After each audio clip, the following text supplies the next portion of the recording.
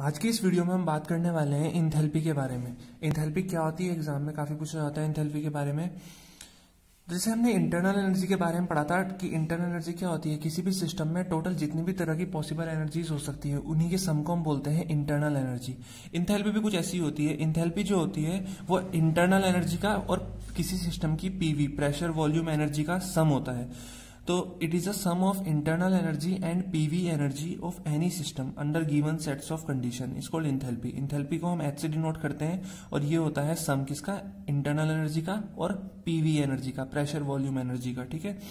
और इंथेल्पी को ही हम बोलते हैं हीट कंटेंट इंथेल्पी को हम किसके नाम से जानते हैं? हीट कंटेंट के नाम से जानते हैं। एक बात और, अगर अभी तक आपने इस चैनल को सब्सक्राइब नहीं किया है तो प्लीज़ इस चैनल को सब्सक्राइब कर दें ताकि ज़्यादा से ज़्यादा वीडियो आप तक इजिली पहुँच जाए। और जितने ज़्यादा हो सकते हैं वीडियोस को अपने फ्रेंड सर्कल में शेयर करें।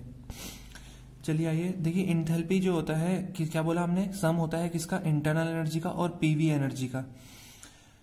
इंथेल्पी जो है, जब हमने इस चैप्टर को शुरू किया था, शुरू की वीडियोस में हमने बात की थी प्रॉपर्टीज़ के बारे में। दो तरह की प्रॉपर्टीज़ होती हैं, एक होती है एक्सटेंसिव एक होती है इंटेंसिव जो अमाउंट ऑफ़ सब्सटेंस पे डिपेंड करती है क्वांटिटी पे डिपेंड करती है, वो एक्सटेंसिव प्रॉपर्टी होती है। और जो अमाउंट ऑफ़ सब्सटेंस पे डिपेंड नहीं करती है, वो क्या होती है? इंटेंसिव प्रॉपर्टी होती है। जैसे इंथेल्पी की बात करें इंथेल्पी किसके सम के बराबर है? इंटरनल एनर्जी के और पीवी एनर्जी के। अब जितना ज़्यादा गैस का अमाउंट होगा, उसकी इंटरनल एनर्जी उतनी ज़्यादा होगी और उसकी पीवी एनर्जी उतनी ज़्यादा होगी। मतलब अमाउंट पे डिपेंड हो रहा है ना? लेकिन जैसे पीएच हो गया हमारा। अगर हम एक ड्रॉप लेते हैं ब्लड की तो उसका पीएच जितना है, उतना ही सौ ड्रॉप्स का होगा।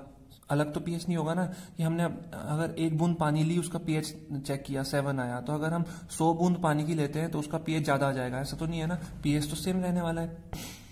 और बॉइलिंग पॉइंट की बात करते हैं, एक लीटर पानी को बॉईल करते हैं, उसका बॉइलिंग पॉइंट भी हंड्रेड डिग्री सेल्सियस है, और दस लीटर को बॉईल करेंगे, उसका बॉइलिंग पॉइंट भी हंड्रेड डिग्री सेल्सियस है। तो ये क्या होगी बॉइलिंग पॉइंट वगैरह? इंटेंसिव प्रॉपर्टीज़ होगी। बट ये जो इंथेल्पी है, ये हमारी क्या है? एक्सटेंसिव प्रॉपर्टी है बिकॉज़ ये अमाउंट पर डिपेंड करेगी। जितने ज़्यादा अमाउंट उतनी ज़्यादा एनर्जी अब यहाँ पे इंपॉर्टेंट पॉइंट क्या है? इंपॉर्टेंट पॉइंट ये है कि जैसा कि हमने बात की थी कि इंटरनल एनर्जी की हम एग्जैक्ट वैल्यू कैलकुलेट नहीं कर सकते। सिर्फ़ हम change in internal energy calculate करते हैं। तो अगर हमें इंटरनल एनर्जी की ही एग्जैक्ट वैल्यू मालूम नहीं है तो हम इंथेल्पी की एग्जैक्ट वैल्यू कैसे निकाल सकते हैं? नहीं निकाल सकते। तो हमेशा ध्यान रखना है कि absolute value of enthalpy can not be measured because absolute value of internal energy can not be known क्योंकि हमें इंटरनल एनर्जी की एब्सोल्यूट वैल्यू ही नहीं पता है तो इंथेल्पी की कैसे निकलेगी? तो इसीलिए हम हमेशा चेंज इन इंथेल्पी निकालते हैं। क्या निकालते हैं? चेंज इन इंथेल्पी हम हमेशा मेजर करते हैं। अगला पॉइंट अगला स्पेशल पॉइंट क्या है कि चेंज इन इंथेल्पी किसके बराबर होती है? तो जैसे कोई रिएक्शन है रिएक्शन क्या है? रिएक्टेंट गिव्स प्रोडक्ट तो जो चेंज इन इंथेल्पी होती है, वो होती है enthalpy of product minus enthalpy of reactant product क्या है यहाँ पे?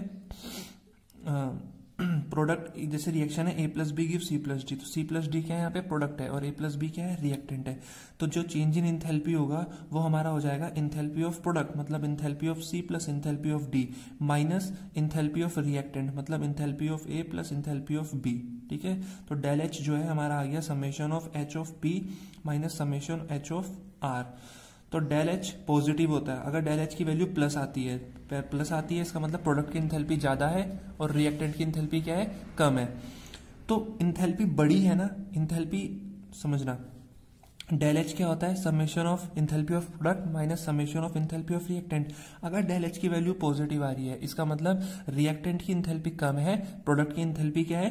ज़्यादा है। अब रिएक्टेंट की इंथेल्पी कम थी, यहाँ पे ज़्यादा होगी। इसका मतलब एनर्जी गेन हुई है एनर्जी एब्जॉर्ब हुई है मतलब हीट एब्जॉर्ब हुई है। और हीट जब एब्जॉर्ब होती है तो रिएक्शन कौन सा होता है? एंडोथर्मिक रिएक्शन होता है, ठीक है? और अगर मैं बोल रहा हूँ कि डेल एच की वैल्यू नेगेटिव आ रही है डेल एच नेगेटिव कब आएगा? जब रिएक्टेंट की एनर्जी ज़्यादा होगी और प्रोडक्ट की एनर्जी कम होगी, तभी तो कम में से ज़्यादा को माइनस करेंगे माइनस आएगा। तो पहले एनर्जी क्या थी? ज़्यादा थी, फिर रिएक्ट प्रोडक्ट की एनर्जी क्या होगी? कम होगी। तो इसका मतलब हीट क्या हुई होगी? इवॉल्व हुई होगी। तो हीट इवॉल्व और जब हीट इवॉल्व होती है तो कौन सा रिएक्शन होता है वो?